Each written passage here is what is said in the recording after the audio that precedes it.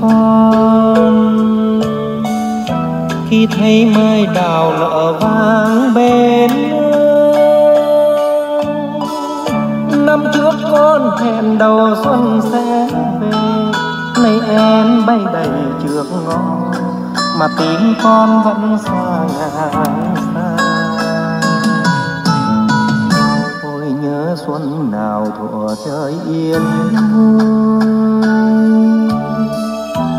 nghe pháo giao thừa rộn ràng nơi nơi.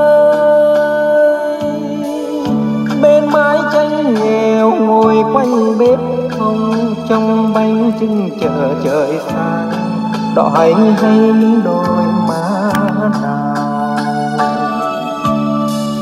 nếu con không về chắc mẹ buồn lắm mái tranh nghèo không người sửa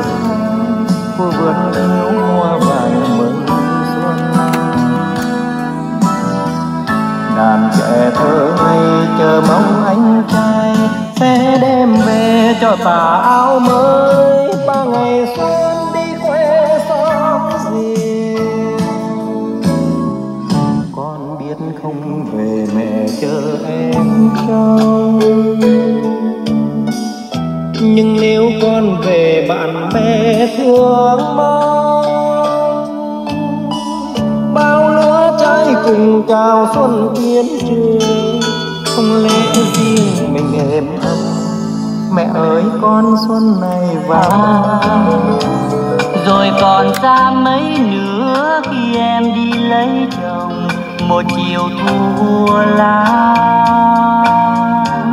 một con đò sang sông, một cõi lòng băng giá, một thoáng buồn mênh mông anh đến mừng em trong tiệc cưới. Ra về men rượu ngắm buồn tim. Gió mưa lành mấy hồn đơn lẻ kết nhất định nhưng mà vẫn thấy nó không có gắn kết nhiều bằng ba tác phẩm kia. Coi qua hầu hết những bộ phim võ hiệp của ông từ câu chuyện chủ yếu là lao động tự do thu nhập bấp bênh. Và Liên Cúc Lý lời em dặn dò. Thí sinh mang số báo danh 210 đối tượng tham gia bảo hiểm y tế. Lâu dài với doanh nghiệp nhiều đơn vị đã cải thiện điều kiện và môi trường làm việc. Lĩnh vực nào cả? Ừ, thì đấy cũng rất là cô ta như thế nào nhưng mà em thấy là tại vì mỗi người là một cái cá thể riêng. Họ không giống ai cả và cũng không ai có quyền bắt họ phải giống bất kỳ một người nào. Họ là một cá thể và họ có những cái gì đấy của riêng mình. Thì hãy để cho họ phát huy hết những cái gì mà họ có thể thì khi đấy nó mới đạt được một cái gọi là năng suất cao nhất. Đấy. Và có thể là bên cạnh những cái năng lực cao nhất của bản thân thì chúng ta sẽ có thể học thêm những cái nhỏ nhỏ học thêm cho vui. Nhưng mà